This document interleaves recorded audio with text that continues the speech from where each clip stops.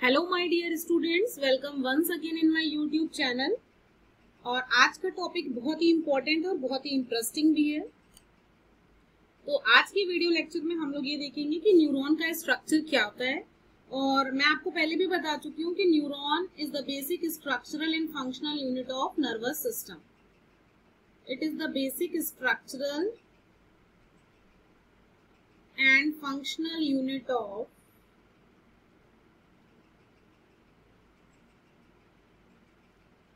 and functional unit of nervous system ठीक है? तो आज के इस वीडियो पे मैं आपको बताऊँगी कि जो न्यूरॉन है, उसका कैसा स्ट्रक्चर होता है और इसकी क्या फंक्शनिंग है, ये तो आपको पता ही है कि न्यूरॉन बेसिक स्ट्रक्चर और फंक्शनल यूनिट है नर्वस सिस्टम का।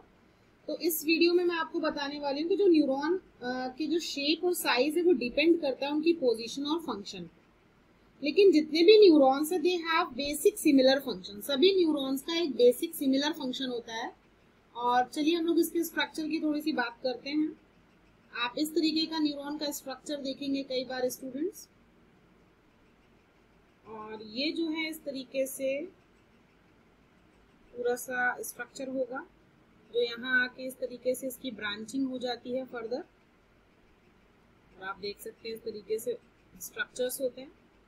और यहाँ पे ये ये जो एंड्स होते हैं इनको हम लोग बोलते हैं डेंड्रॉन्स ओके स्टूडेंट्स और यहाँ पे आ, मैं दूसरा कलर इसके लिए यूज़ कर लेती हूँ ग्रीन कलर ये जो थ्रेड लाइक स्ट्रक्चर्स हैं they are called as dendrites in thread like structure को हम लोग क्या बोल देते हैं? डेंड्राइट्स और ये पूरा का पूरा जो अंदर साइटोप्लाज्म फिल है, और मैं इसके लिए दूसरा कलर यूज़ करती हूँ यहाँ पे रेड यहाँ पे अंदर एक न्यूक्लियस होगा। और न्यूक्लियस के किनारे किनारे आपको साइटोप्लाज्म दिख रहा है। और ये जो पूरी बॉडी है, इसको हम लोग बोलते हैं स्टूडेंट सेल बॉडी ठीक है? उसके बाद अगर हम लोग बात करें कि जो न्यूरॉन का जो न्यूक्लियस है, इसके किनारे किनारे बहुत सा मैं ब्लैक कलर यहाँ पे यूज़ कर रही हूँ, उसको हम लोग बोलते हैं निसल ग्रैन्यूल्स ये न्यूक्लियस के किनारे किनारे कुछ ग्रैन्युलर स्ट्रक्चर्स हैं। इन ग्रैन्युलर स्ट्रक्चर को हम लोग बोलते हैं स्टूडेंट्स निसल ग्रैन्यूल्स डेंड्राइट्स मैंने आपको बता दिया साइटोप्लाज्म आपको पता है, जो सेल बॉडी के अंदर यहाँ पे फिल है, इसको हम लोगों ने, हालाँकि इसको ब्लैक कलर से नहीं, मैं दूसरा कलर मुझे यूज़ करना चाहिए था, मैं ऐसा कर देती हूँ, यहाँ पे येलो कलर हम लोग यूज़ कर लेते हैं। या मैं इसको फिल कर देती हूँ कलर को। आप ऐसा देख सकते हैं, ये जो अंदर फिल है, जो पार्ट उसको हम लोग बोलेंगे cytoplasm they are called cytoplasm अगली बात अगर स्टूडेंट्स हम लोग करें तो यहाँ पे जो नीचे की हुई है इसका गया हुआ है, इसकी जो एक्सॉन एंड एक्सॉन है, उसके ऊपर ये कवरिंग है इस तरीके की। ठीक है? पूरे के पूरे पार्ट को हम लोग एक्सॉन बोलेंगे, और जो ये ऊपर की जो कवरिंग है, इसको हम लोग बोलते हैं। ये जो बीच का ये एक्सॉन है, और ये माइलिन शीट है, जो इसकी एज अ कवरिंग का काम कर रहा है।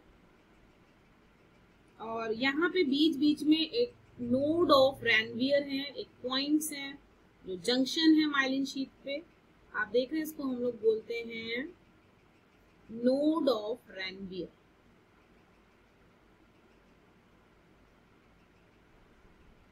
ये जो आपको नीचे की ओर दिख रहे हैं, ये एक्सॉन टर्मिनल्स हैं, ये टर्मिनल एंड्स हैं।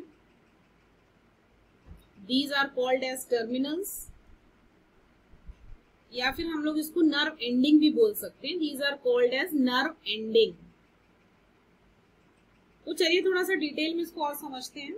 जो हमारा न्यूरॉन है इसके तीन बेसिक डिस्टिंक्टिव फीचर्स हैं स्टूडेंट्स और उन फीचर्स को हम लोग क्या बोलेंगे? uh, मैं थोड़ा सा डिफरेंट कलर यूज़ कर रही हूँ इसके लिए।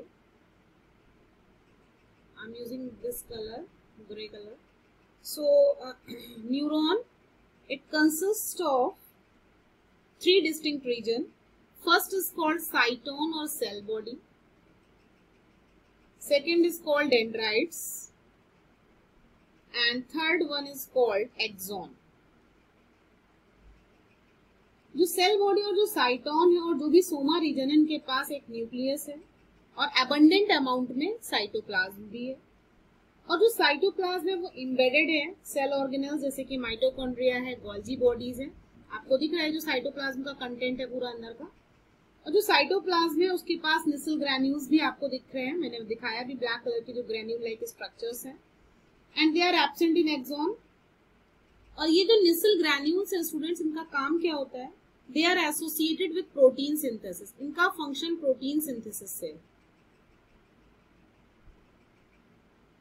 and from the cell body extend out two kind of protoplasmic extension, dendrites or axons axon हम लोग इस पूरे एंड को बोलेंगे एक्सॉन और जो डेंड्राइट्स है शॉर्ट है ब्रांच प्रोसेसेस हैं they have numerous fine branches that carry the impulse towards the cell body axon में मैंने आपको बताया कि एक्सॉन एक लॉन्ग प्रोसेस है जो कि एक लॉन्ग काफ़ी सेंटीमीटर की बनी हुई है और ये नर्व इम्पल्सेस को कैरी करती कंडक्ट करती away from the cell body और ये इलोंगेटेड फाइबर्स के फॉर्म में टर्मिनल एंड फाइबर्स यहाँ पे स्वालन नोब्स हैं।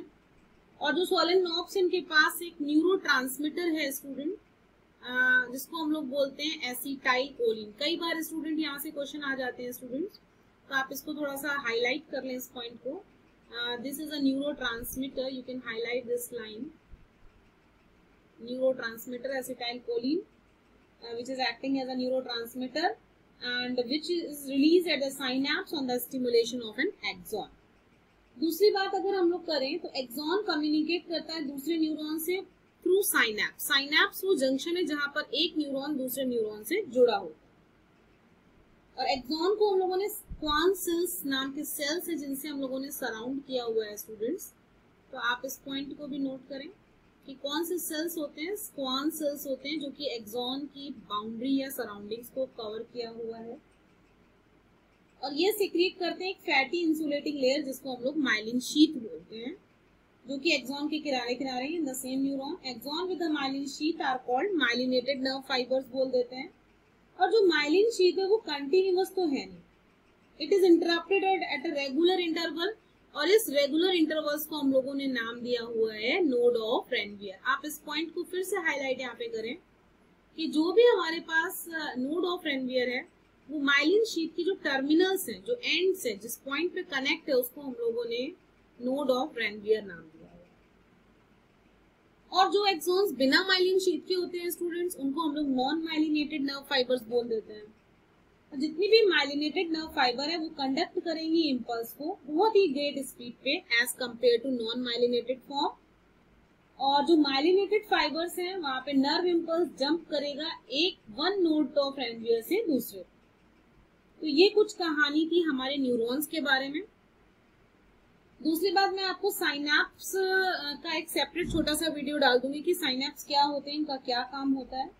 फिर हम लोग नेक्स्ट लेक्चर में टाइप्स ऑफ़ न्यूरॉन्स को डिटेल में पढ़ेंगे। तो आज की कहानी इतनी ही है। आ, मुझे लग रहा है स्टूडेंट्स आपको ये वीडियो हेल्पफुल होगा आपकी स्टडीज़ के लिए। और अगर अच्छा लगा आपको हमारा वीडियो तो आप हमारे चैनल को सब्सक्राइब करें और इस वीडियो को ज़्यादा से ज़्यादा शेयर करें अपने दोस्तों के साथ ताकि आप अपनी नॉलेज को अपने दोस्तों के साथ शेयर कर सके और हमारे बारे में, हमारे चैनल के बारे में बता सके। Okay students thank you very much I hope you will meet soon bye bye students take care